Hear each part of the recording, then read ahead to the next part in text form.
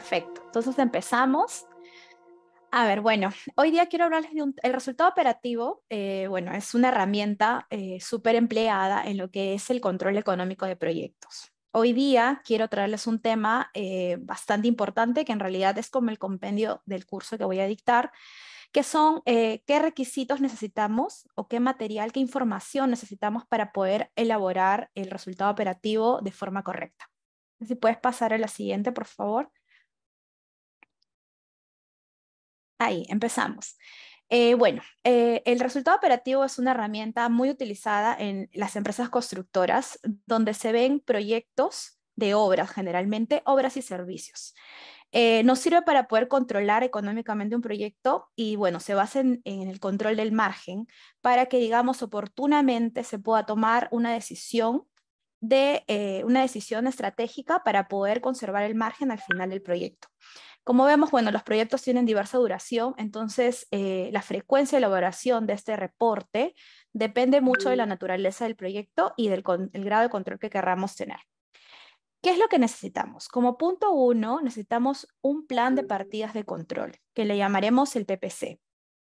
Este plan se elabora a partir del presupuesto oferta. Eh, nosotros entendemos el presupuesto oferta como parte de los entregables que se presentan a nuestro cliente en el proceso de licitación. Debe estar de acuerdo también al presupuesto meta aprobado que ya es un presupuesto interno eh, que se sustenta generalmente a lo que es la gerencia de la organización en la cual estamos trabajando y la estrategia de ejecución del proyecto, que, eh, bueno, esta, esta, esta, se forma de la integración de la persona que va a implementar el proyecto, que en este caso puede ser el director de operaciones o el mismo director del contrato, y eh, la persona que lidera la oficina de control de proyectos. ¿Qué debe contener este plan? ¿no? Este plan debe contener una eh, codificación, una descripción de la partida, una unidad de medida, los metrados, que es la cantidad de trabajo que vamos a ejecutar, y una descripción y explicación del alcance. En esta descripción o explicación del alcance está orientada hacia la estrategia de ejecución, que era el punto eh, inicial que estábamos comentando. Bueno, este plan de partidas eh, de control también debe ser planificado a lo largo del tiempo, es decir, eh, las partidas que nosotros hayamos previsto deben estar distribuidas a lo largo de toda la duración del proyecto. Podemos pasar a la siguiente lámina, por favor. Para la elaboración de este plan, ¿qué se debe tener en cuenta? se debe tener en cuenta tres características que para mí son vitales y las he empleado muchísimo en la práctica durante la ejecución de los proyectos. Primero, eh, la pertenencia. Este plan de partidas debe ser elaborado en coordinación con la dirección del proyecto para poder generar dos cosas importantes, el compromiso de la alta dirección y el soporte durante la ejecución del proyecto. También tiene que tener la característica de planificación, es decir, que debe estar totalmente relacionada con la estrategia de ejecución, para que todos hablemos el mismo lenguaje. O sea, el método constructivo que vamos a utilizar en el proyecto debe estar completamente alineado con la forma en que hemos creado nuestro plan de partidas. Y los métodos, es decir, este plan de partidas debe ser concordante con el método constructivo, que es lo que acabo justo de mencionar, a utilizar con la finalidad de que, la imputación de los costos en estas partidas se dé de forma natural. ¿Cuál es el objetivo de todo esto? El objetivo de todo esto es que los recursos sean asignados directamente a la partida de control donde se consumen. Siguiente, porfis.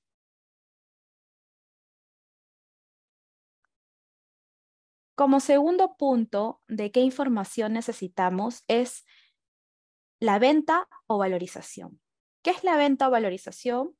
Se trata del cálculo de la venta mensual, ya sea acumulada y proyectada hasta el término de la obra.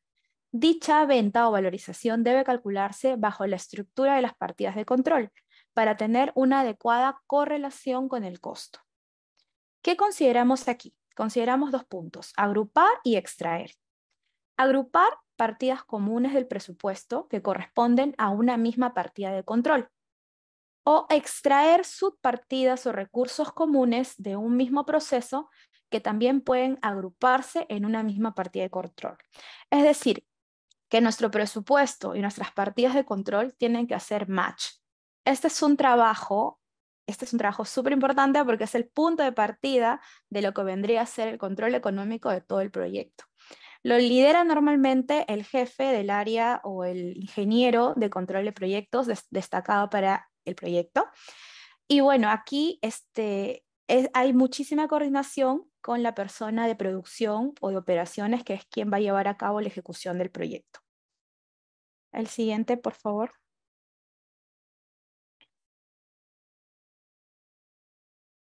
Como tercer punto, tenemos la planificación general. Esta planificación debe contener los metrados ejecutados en el mes de análisis, pero también los metrados por ejecutar hacia el término de obra.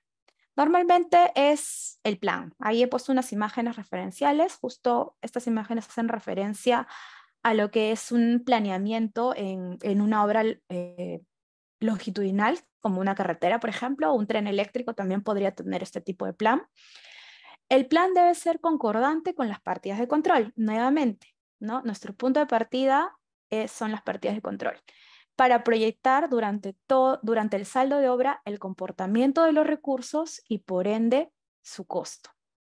No, perdamos de vista que esta herramienta nos permite el control de costos de un proyecto. Por ende, digamos que el punto de partida son las partidas de control, es lo que debería estar súper afinado tanto con la dirección como con el ejecutor del proyecto. Siguiente punto, por fin. Como punto 4 tenemos el cuadro de control de metrados. El cuadro de control de metrados o CCM debe estar elaborado por partida de control, teniendo como dato inicial el metrado por ejecutar en cada partida o inclusive subpartidas, ¿no? de acuerdo a cómo lo hayamos dividido, o agrupado o extraído.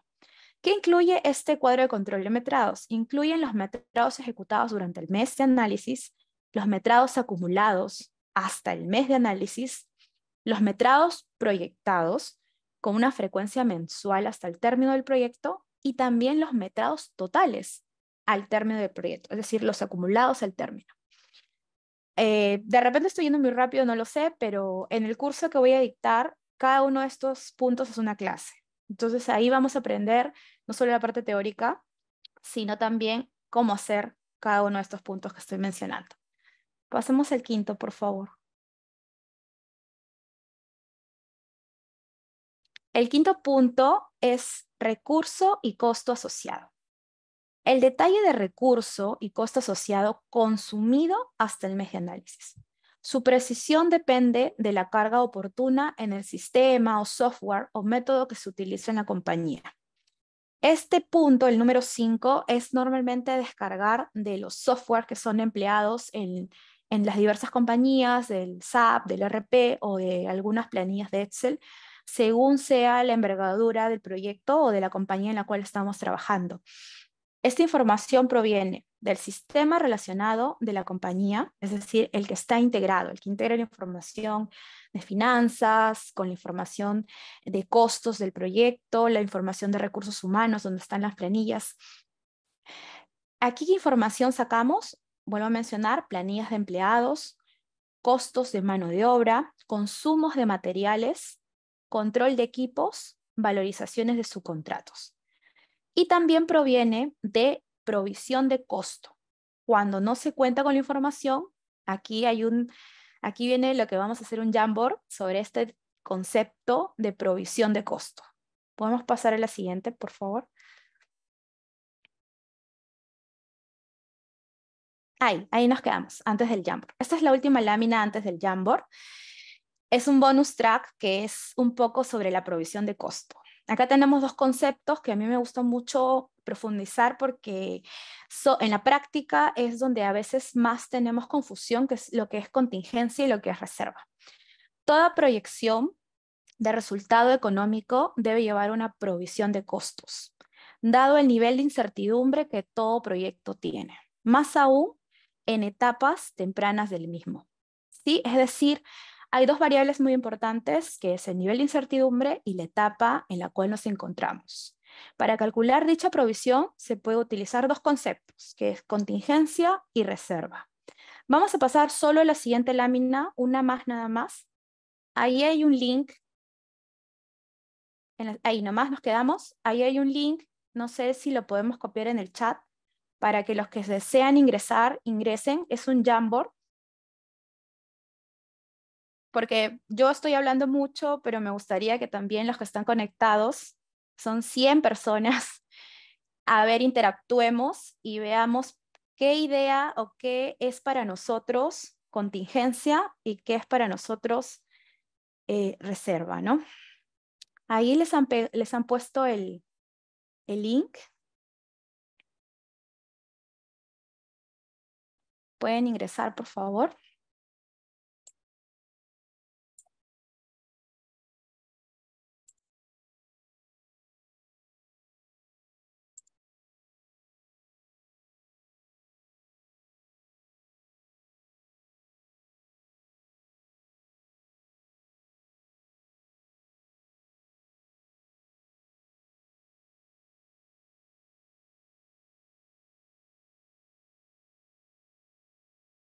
Ya, a ver, veo que se están conectando. No sé si podemos proyectar el, tablero. Diana, ¿tú podrías entrar al link también para que se proyecte el tablero que estamos armando? El Jamboard, sí, el Jamboard es una herramienta eh, de pizarra del Google, del Google, del Gmail, del correo de Google, eh, no necesitas descargar ninguna aplicación, solo entras y se abre en la web, en el explorador. Y en ese Jamboard hay dos láminas. Eh, la primera es, a ver, vamos a... La primera es contingencia. Eh, veo que hay como 24 personas, 25 la primera es contingencias y la segunda es reserva. En la primera lámina pueden coger, eh, voy a hacer yo un ejemplo para los que están conectados, cogen una nota adhesiva y van a responder la pregunta, ¿qué es para ustedes contingencia? Ahí estoy pegando la nota. Si la pueden ver en la pizarra, ¿qué es para ustedes contingencia? Voy a pasar el link para que lo proyecten.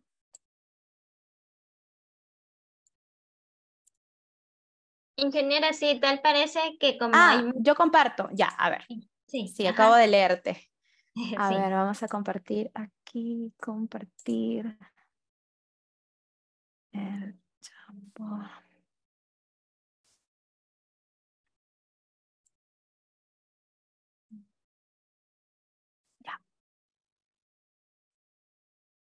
Ahí pueden ver mi pantalla. Sí, ingeniera. Sí, ya.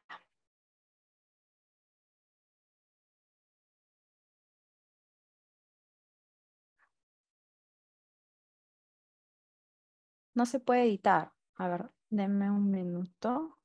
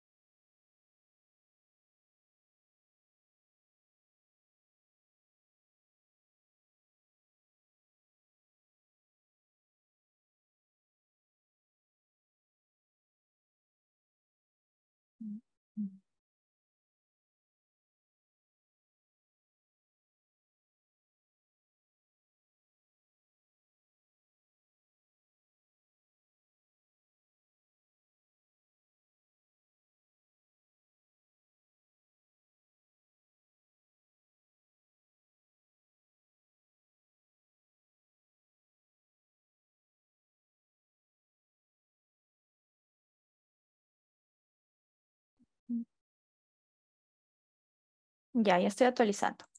Ya está. A ver, por favor, verifiquen si puede. Ya está. Muy bien, ya estoy viendo sus notas. A ver, la primera es sobre contingencia. ¿Sí pueden ver mi pantalla? Disculpen. Sí, ingeniera. Ahora sí. Ya, perfecto. Contingencia y la siguiente es sobre reserva. A ver, no sé, nos tomamos unos minutos para que por favor compartan qué entienden ustedes por todo dentro del concepto de provisión de costos. No estamos en un proyecto, estamos haciendo la imputación de costos en nuestro presupuesto oferta, lo transformamos en lo que es nuestro plan de partidas y vamos a considerar un, un ítem, un ítem, un concepto de contingencia y o reserva, que entra dentro de lo que es el concepto de provisión de costos. Dentro de esa línea o dos líneas, ¿qué entienden ustedes por contingencia? Ese monto que yo voy a provisionar como contingencia corresponde a, ahí tenemos ahí una nota que dice plan de prevención ante riesgos. A ver, no, no tapen sus notas, por favor. Hay mucho espacio. Luego está plan de respaldo. Voy leyendo, Voy leyendo algunas, muy bien. Hay una palabra ahí que me gusta mucho que es riesgos. A ver, vamos a pasar a la segunda hoja. A ver, allá. Primero hacemos la primera, damos unos minutitos para contingencia y ahí hacemos la segunda. Voy a leer, lo asimilo con, con emergencia para cubrir la incidencia no prevista. Muy bien, no prevista también es un concepto clave imprevistos, un plan de respaldo para algún gasto no esperado.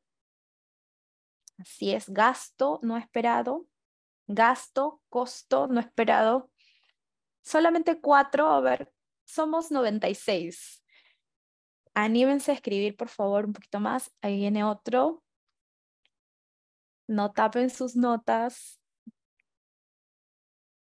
Ahí está previsión ante riesgos, posibilidad de que suceda o no suceda.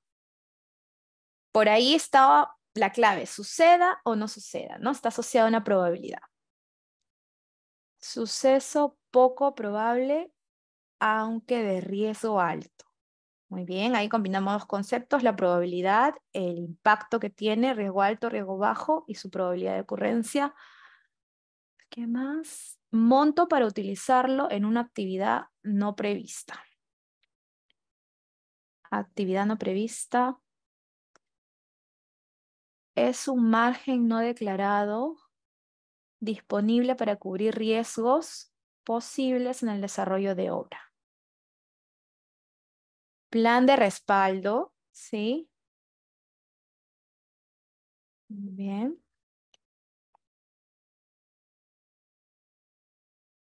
Ya tenemos varias, varios conceptos ahí que han escrito. A ver, unos minutos más para pasar a lo que sería reserva.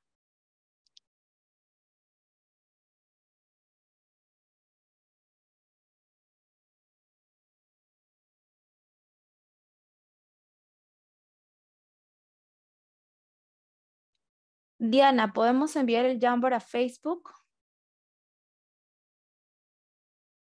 Claro, claro, ingeniero. por ahí puedes pasar el link también. En Facebook nos están pidiendo que compartamos el Jamboard. Buenas noches, chicos. A ver, ahí tenemos otro. Dice, a ver, son normas o procedimientos. Gracias, gracias por hacerlo más grande. Normas o procedimientos que proponen acciones de respuesta que se deben tomar para afrontar de manera oportuna y efectiva ante la ocurrencia de un accidente o incidente. Muy bien. Sí. ¿Están ustedes ahí con las claves riesgos, respuesta, ¿no? Una acción de respuesta también es un concepto muy importante. Gasto no esperado.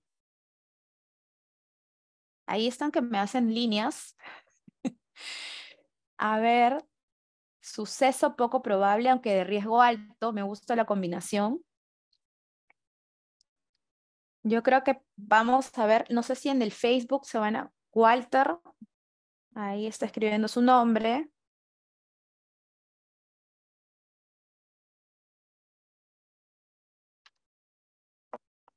Chicos, usen notas, usen los post-its. A ver, hay uno ahí nuevo, presupuesto de reserva, ¿sí? Presupuesto de reserva.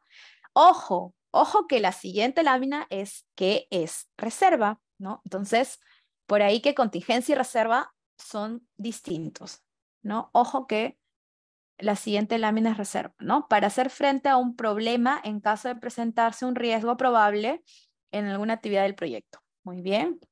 Eventos o riesgos que se prevén y se identifican en la planificación del proyecto. Eventos o riesgos. Así es, debemos de destinar un monto, un monto en el presupuesto para el concepto de contingencias. Yo creo que por ahí ya hay dos o tres posits que están dando con las palabras claves. Pasamos al, a la siguiente, a ver, alguien más que se anime. Pasamos, si no, a la siguiente lámina. En el chat también tenemos, a ver, alguien que comentó, no.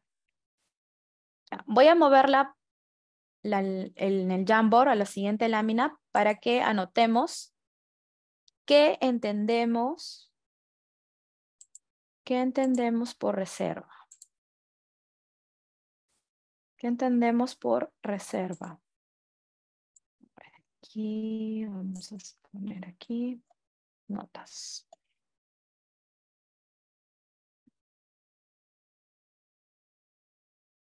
Reserva.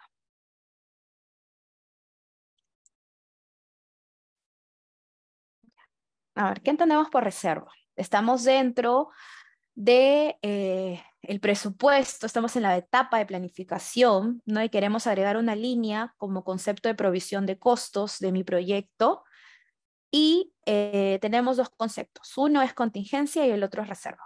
A ver, ¿qué entendemos por reserva? Saldos de insumo para ser utilizado en un futuro. ¿Sí? Sí, me suena reserva, estoy reservando tales o cuales materiales para que sean utilizados en otro proyecto, a ver si va por ahí, un monto acumulado ante cualquier imprevisto. ¿Ok? Es algo no previsto. Pero ¿cuál es la característica de la reserva? ¿En qué se diferencia la reserva de la contingencia? ¿Por qué no son lo mismo? ¿Por qué puedo poner una o otra? O también puedo poner las dos. A ver, anímense a escribir un poquito más sobre reserva. Ya compartieron el link del Jamboard en Facebook. Monto para cubrir los riesgos imprevistos o cambios al proyecto. Otra vez vuelve aquí la palabra riesgos. Esa palabra es clave. En estos dos conceptos riesgos es la palabra clave, pero hay un apellido de riesgos que hace que uno sea reserva y que otro sea contingencia. Guardar recursos para riesgos futuros, sí. Presupuesto destinado a cubrir los eventos inesperados que no se, puede, que no se pueden prever ni identificar en la planificación del proyecto. A ver, por el chat, ¿quién puso ese POSIT verde? ¿Qué más? Monto obtenido con anterioridad que se va a utilizar para poder complementar los gastos. O sea, es un monto obtenido con anterioridad. O sea, a priori sí. A priori sí, de todas maneras, a priori porque estamos en la etapa de planificación. Guarda recursos para ríos futuros. A ver,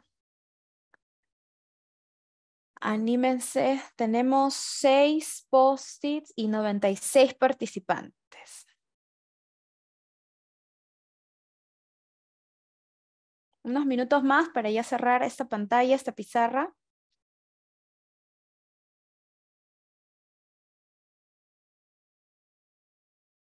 Ahí, ahí alguien se animó a ver. Es algo que se cuida o preserva para que pueda ser utilizado en el futuro o en caso de alguna contingencia. Parecen que fueron lo mismo contingencia y reserva, ¿no? Pero tienen un pequeño detalle. Pequeño detalle y también el origen puede que sea distinto.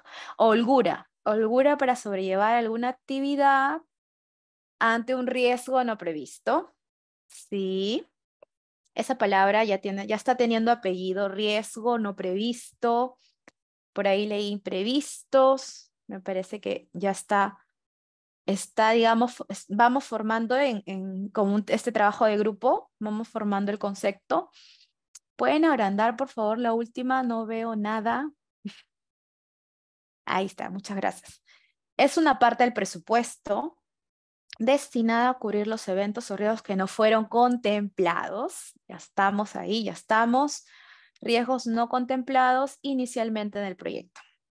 Por ahí ya leí riesgos no previstos, riesgos no contemplados. Yo creo que ya podemos cerrar el Jamboard para ver en la lámina cuál es la respuesta de reserva y contingencia. A ver, Diana, no sé si ya cerramos. Voy a dejar de compartir para que por favor pongas Sí. la presentación. Si alguien tiene alguna pregunta, a ver, te toca.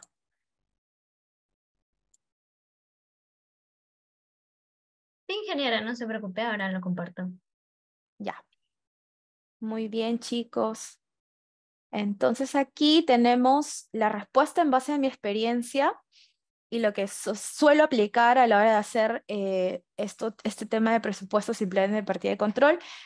Contingencia es la estimación de costos por un riesgo debidamente identificado.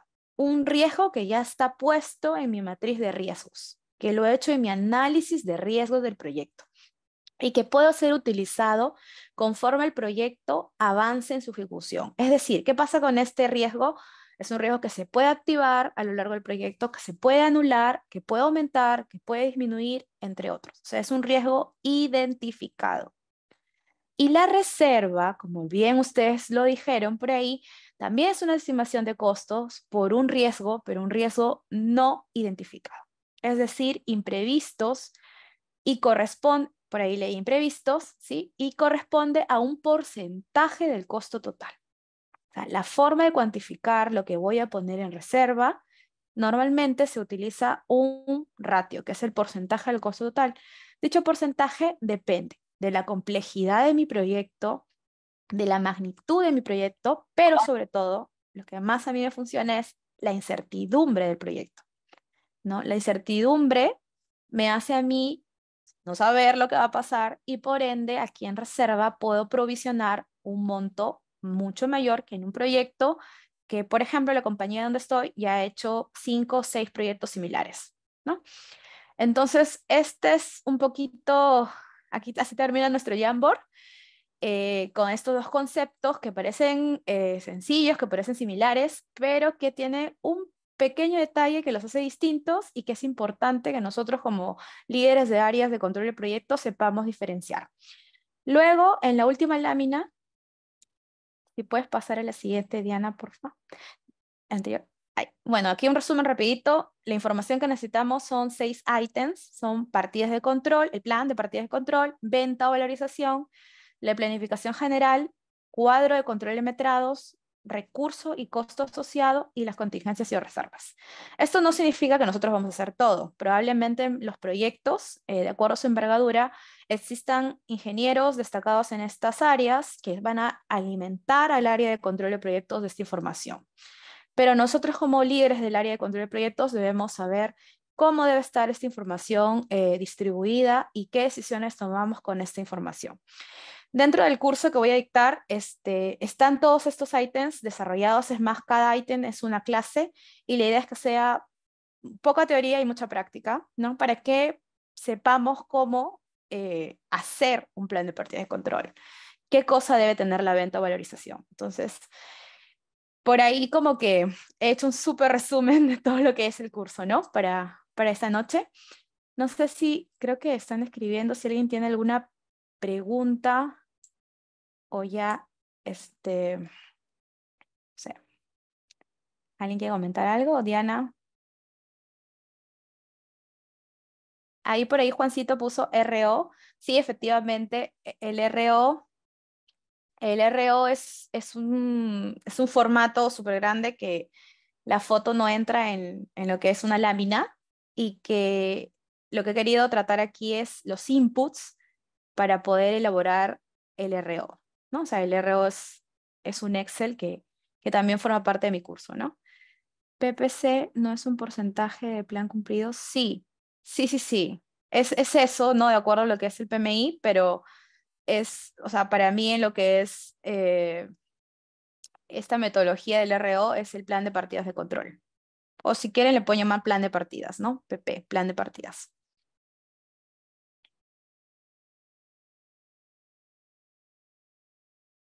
Sí, chicos, a ver, anímense a poder eh, responder, a poder hacer sus consultas. Eh, la ingeniera, queremos agradecerle por la bonita capacitación, bonito webinar que ha dictado el día de hoy, ingeniera Irene. Y por ahí de repente tenemos algunas más preguntas.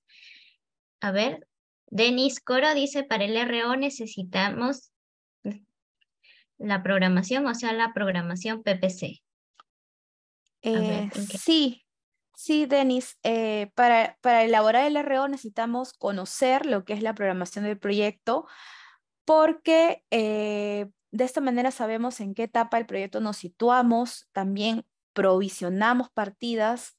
La provisión está en función de cómo se van a ir ejecutando las partidas a lo largo de la duración del proyecto, ¿no? Entonces, si no conocemos o si nuestro RO o plan de partidas de control, que es, digamos, el RO en su origen, su nacimiento, no está alineado a lo que es la programación o el plan de trabajo, eh, bueno, vamos a tener problemas porque no va a conversar o va a ser muy difícil para nosotros hacer la imputación de costos, ¿no?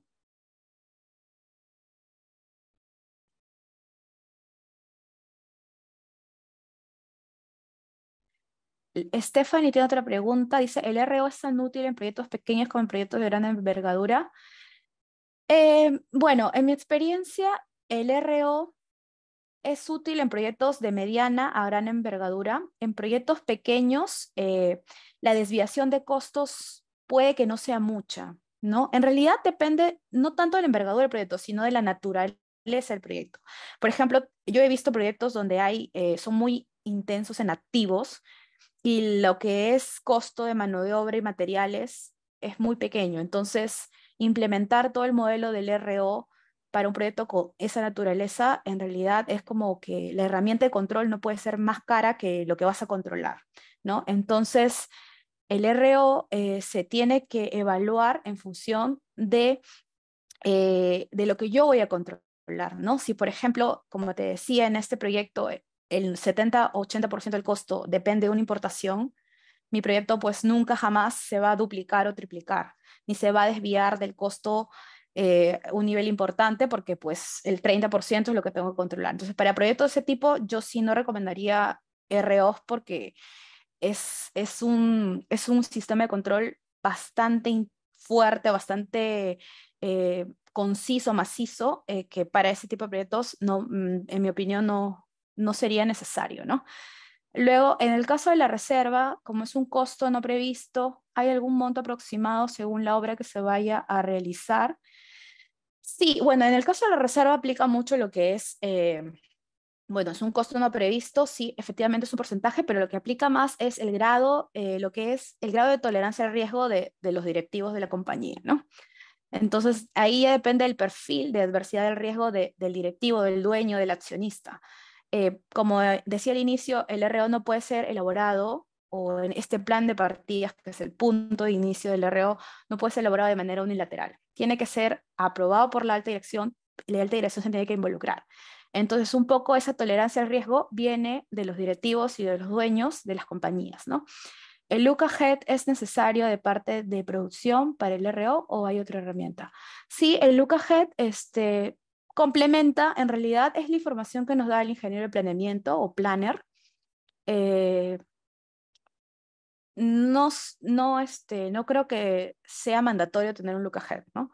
Con tener un planeamiento actualizado con la frecuencia de presentación del RO es, es necesario. es mucha coordinación del área, incluso hay áreas que son control, planeamiento y control de proyectos. No, están totalmente alineados. ¿El RO funciona mejor cuando se tiene mayor incertidumbre?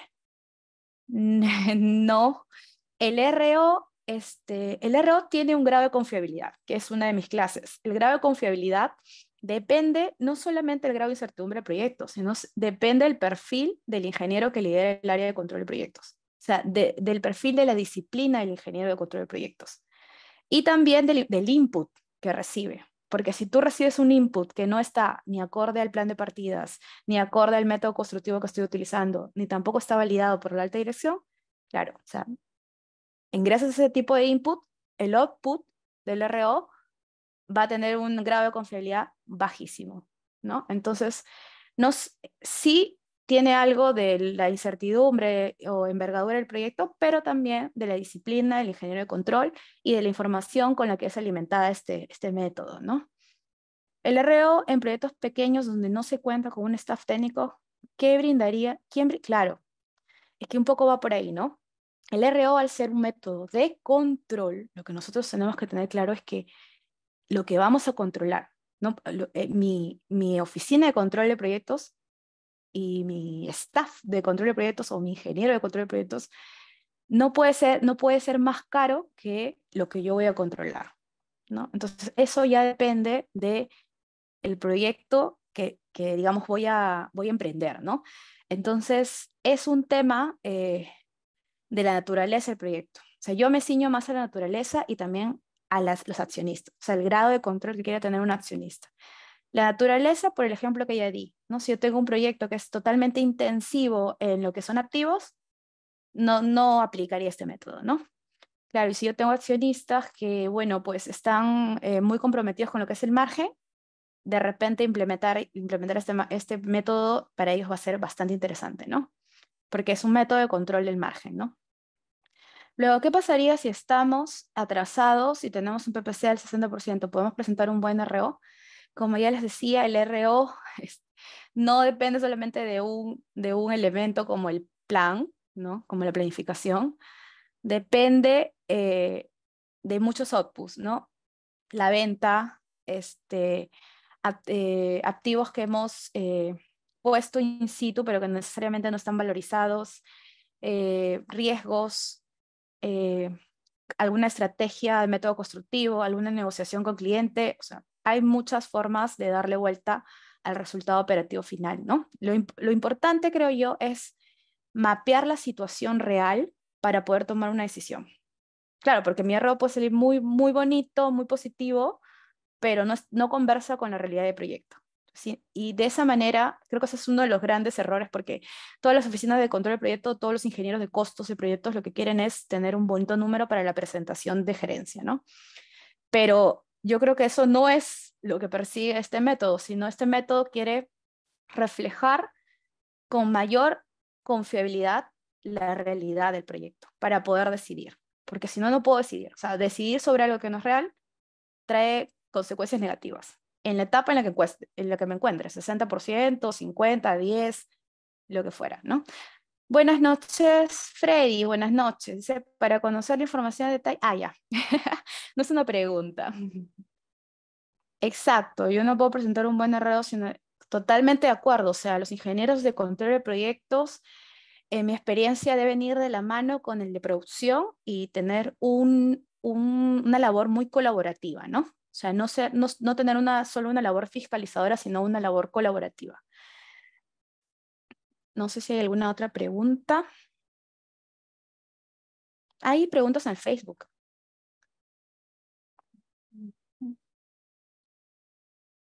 A ver, entonces... En el curso, tengo una pregunta más, Diana, rapidito. Dice, Cristian Carguapoma, dice, en el curso se verá el resultado pendiente, por supuesto. Es una de las últimas clases. Por supuesto. Primero vamos a entender, eh, bueno, dentro de mi forma y mi experiencia es entender cómo hacer un buen RO y luego está la interpretación de los datos, que en realidad en una o dos clases la interpretación yo creo que les podría quedar bastante claro. Pero a mí lo más complejo es cómo lo hacemos, cómo hacemos el RO. Exacto, yo no, ya, Denis, creo que ya leí lo que comentaste.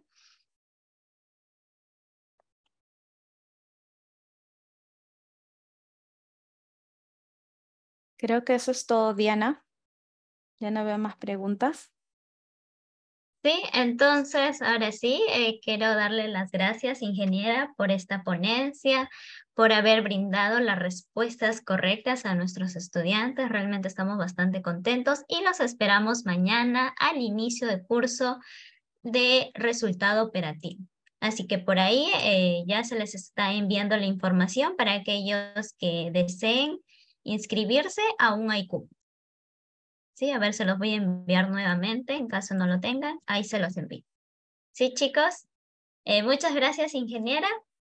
Entonces, eh, para todos los presentes, no quisiera le puedan, se puedan despedir de la ingeniera y este, nos digan en los comentarios de repente qué otro webinar les gustaría ver con la ingeniera, algún otro webinar. No sé, ustedes coméntenos que nosotros siempre vamos a estar atentos a poder absolver todas sus dudas y comentarios. Muchas gracias, ingeniera le dicen. Muchas felicidades. Muchas gracias. Muchas gracias, Diana. Muchas gracias, Freddy. Muchas gracias a todos los conectados. Para mí ha sido un placer, como les comenté, estar aquí y espero eh, haber resuelto pues alguna de sus dudas y que eh, haya sido de valor el contenido que he compartido aquí para todos. Gracias a ustedes también.